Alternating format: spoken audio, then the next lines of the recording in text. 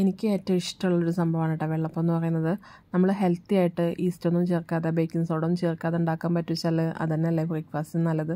അപ്പോൾ ഞാനിവിടെ ഒന്നര ഗ്ലാസ് പച്ചരി എടുത്തിട്ടുണ്ട്. അതിലോട്ട് ഒരു അര ടീസ്പൂൺ ഉലുവ ആഡ് ചെയ്ത് കൊടുക്കുക രണ്ട് ഗ്ലാസ്സാണ് എടുക്കുന്നത് വെച്ചാൽ ഒരു ടീസ്പൂൺ ഉലുവ ആഡ് ചെയ്ത് കൊടുക്കാം. ഇത് നന്നായിട്ടൊന്ന് വാഷ് ചെയ്തിട്ട് നമുക്കതൊരു അരമണിക്കൂർ കുതിരാനായിട്ട് വെക്കാം അരമണിക്കൂറല്ല നാല് മണിക്കൂർ കുതിരാനായിട്ട് വെക്കാം കേട്ടോ നമുക്ക് നാല് മണിക്കൂറിന് ശേഷം ഇതൊന്ന് അടിച്ചെടുക്കാം.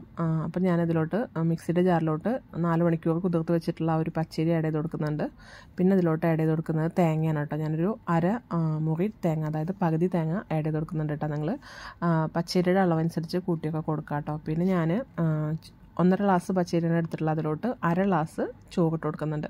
രണ്ട് ഗ്ലാസ്സാണ് പച്ചരി എടുക്കുന്നത് വെച്ചാൽ ഒരു മുക്കാൽ ഗ്ലാസ് ഇട്ട് കൊടുക്കാം കേട്ടോ പിന്നെ ഞാൻ കുറച്ച് വെള്ളം ഒഴിച്ചിട്ട് ഇട്ടുണ്ട്. പിന്നെ നമ്മൾ സാധാരണ വെള്ളപ്പം അപ്പമൊക്കെ ഉണ്ടാക്കുമ്പോൾ നമ്മൾ ഏകദേശം ഒരു രണ്ട് ടീസ്പൂണൊക്കെ ഷുഗർ ആഡ് ചെയ്ത് കൊടുക്കും ഞാൻ പക്ഷേ കുറച്ച് ആഡ് ചെയ്യുന്നുള്ളൂ.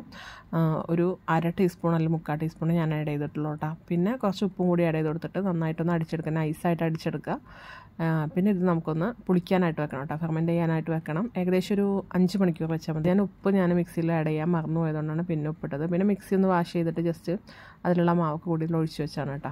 ഇത് ഏകദേശം മിക്സിയിൽ ഇതൊന്ന് ഇളക്കി കൊടുത്തിട്ട് നമുക്ക് ഏകദേശം ഒരു അഞ്ച് മണിക്കൂർ അല്ലെങ്കിൽ ആറ് മണിക്കൂർ പുളിക്കാനായിട്ട് വെക്കാം. അത് നമ്മൾ നന്നായിട്ട് ചൂടുവെള്ളത്തിൽ ഇറക്കി വെച്ച് കഴിഞ്ഞാൽ പെട്ടെന്ന് ഫെർമെന്റ് ആക്കി കിട്ടും കേട്ടോ. അതുകൊണ്ട് അല്ലാന്നുണ്ടെങ്കിൽ ഇങ്ങനെ നല്ല ചൂടുള്ള ഏരിയ ആണെങ്കിൽ നമുക്ക് ഏകദേശം പുറത്ത് വെച്ചാലും മതി. വെള്ള ചൂടുവെള്ളത്തിൽ വെക്കണമെന്നില്ല. അതിനുശേഷം നമുക്കിതൊരു ഏകദേശം ഒരു അഞ്ച് മണിക്കൂർ ഞാൻ വെച്ചിട്ടുള്ളൂ. അപ്പോഴേക്കും നന്നായിട്ട് പുളിച്ച് വന്നിട്ടുണ്ട്. പിന്നെ നമ്മളതൊരു അരമണിക്കൂറും കൂടി ഇങ്ങനെ കഴിഞ്ഞിട്ട് കുക്ക് ചെയ്താൽ മതിയിട്ട് അപ്പോൾ കറക്റ്റ് ആ ഒരു കൺസിസ്റ്റൻസി ഓക്കെ ആവും.